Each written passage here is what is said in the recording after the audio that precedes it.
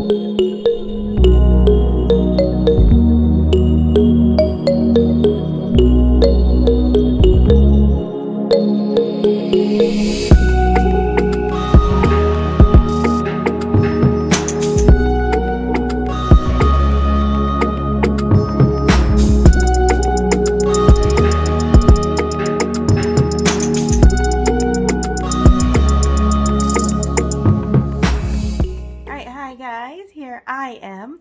Um, now that I got the bags all made with the labels, the names, the little cute dinosaur picture, I wanted to share with you all the items that I picked up to put into the goodie bags. So let me show you those. We're gonna, um, I have it all laid out here on the table. So first of all, I did pick up this five pack of mini dinos. I got those at Five Below. And so it just equals out to be $1 per dinosaur, which is a dollar or a better price than Dollar Tree because they're $1.25 per dinosaur right now. I got two of the first pack right here because it has the Spinosaurus. That's Eric's favorite dinosaur. So I grabbed two of those and then one of those equaling 15 dinosaurs. I am going to have extra, which means I'm going to use them for decor as well. Then from the Dollar Tree, I did pick up some dino gummies. I just thought that that would be an easy add-in to each of the bags. From Temu, I grabbed these. They are little poppets um, that are dinosaur shaped. They do have the little keychains. So I'm going to make those and put those in there. Also from Temu, I have this pack of 150 stickers, um, the realistic dino stickers. So I'm going to put one in each bag. And then I have a set of 12 of like the little dino skeletons. So I figure I'll put those in there as well. So all those items did come from Temu. From Party City, like the only thing I picked up from Party City were these finger puppets. I thought they were really cute and kind of just unique, so I grabbed those. Also from Dollar Tree are these stickers. They're the kind that when you move them, like the, the sticker moves or the design moves. So um, I just thought they were fun. I'm going to cut them apart and put one per goodie bag. Dollar Tree always has the glow bracelets, glow sticky things, and when you can get a pack of 25, it's just an easy add-in to the goodie bags. And I know the girls aren't going to want the toy dinosaurs. So I picked them up a little hand lotion. I thought these were cute. They were from Big Lots, only a dollar. And so I thought they were really cute because they were a little dino, coconut scented, but they only had two dinos. So I picked up one butterfly and two of the dinos because I have three little girls. And so I'm going to pop those into the girls' baskets, I mean goodie bags. And then here, let me show you what I got for the babies. One second. Okay, so for the babies, Dollar Tree really hooked it up.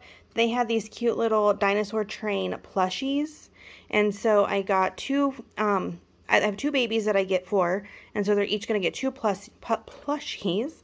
We have this one that is like a pillow. I wish I would have found more of those, but that's the only one I found.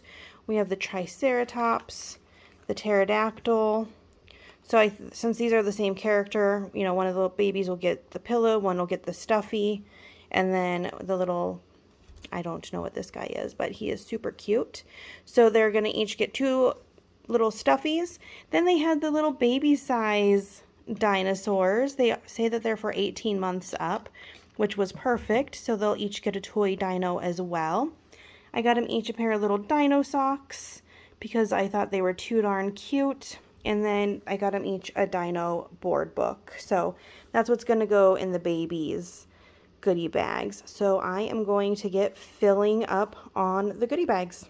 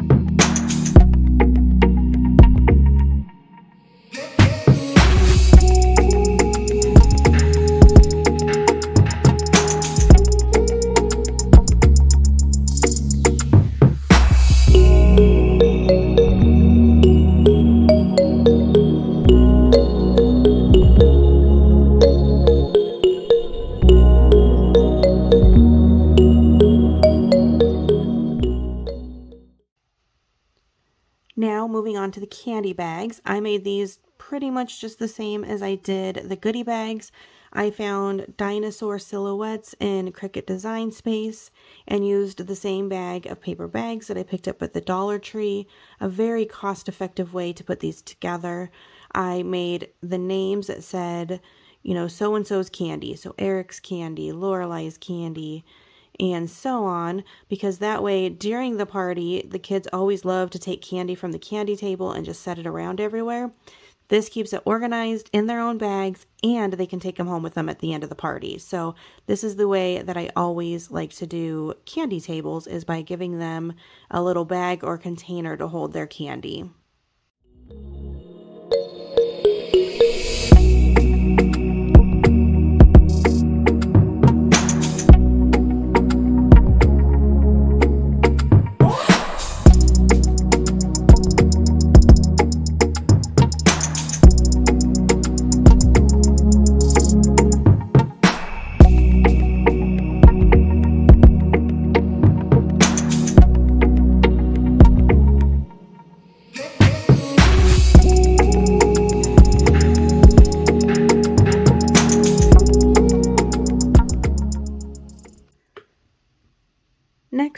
the candy bowls for the candy table. I couldn't find anything that I really, really loved for this theme of birthday party. So what I ended up doing is buying these blue bowls from Dollar Tree in their party section. And then the wood grain look cabinet liner um, the sticky liners that you can buy from them and cut it into strips and put it on there to make like the bowls look like they're wood. And that's what I did for the candy table bowls.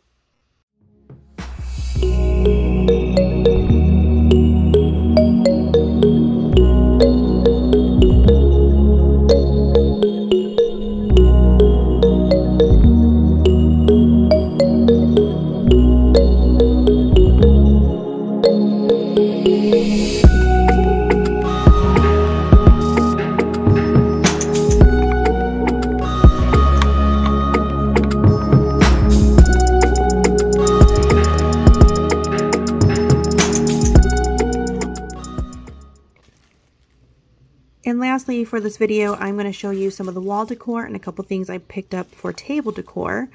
The wall decor, I found these decals on Temu for very inexpensive. And what I thought I would do was put them on top of foam board and just attach them to the wall that way. That way they can go onto Eric's wall once the party is all over. They're reusable, they're not stuck to the wall. They're supposed to be reusable anyway, but you never know how the race stick is on them. So that's why I decided to go the foam board route.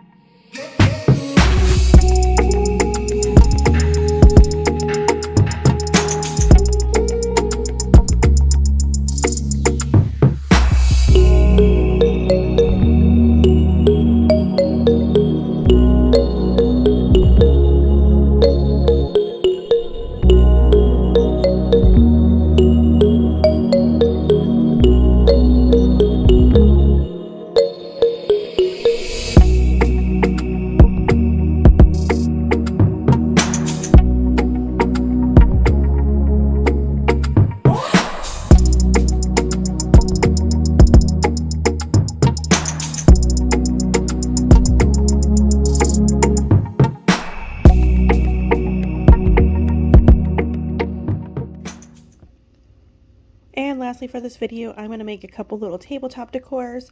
I found these cute 3D puzzles at the Dollar Tree, and I just thought that they would be cute to kind of place here and there throughout the party.